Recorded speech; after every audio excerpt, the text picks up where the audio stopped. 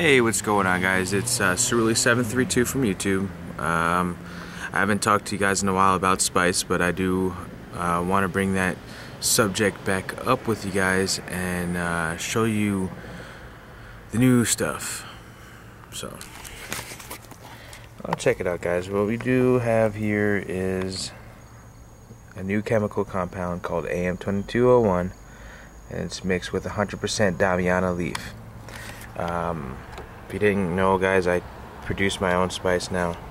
Um, like I just said, 100% Damiana leaf and pure AM2201. Now, my product does not contain any of the federally banned chemicals um, because I do want to adhere to that law. Um, but um, just letting everybody know that I am selling this spice here that is homemade. It's my own personal blend.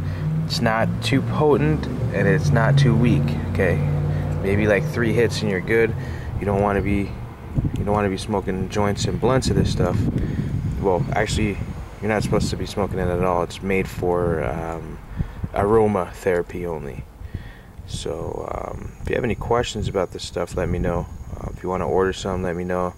Um, I could take credit cards, um, and uh, tracking numbers are issued and stuff like that. Um, I sell spice to a lot of people. I'm a very reliable person.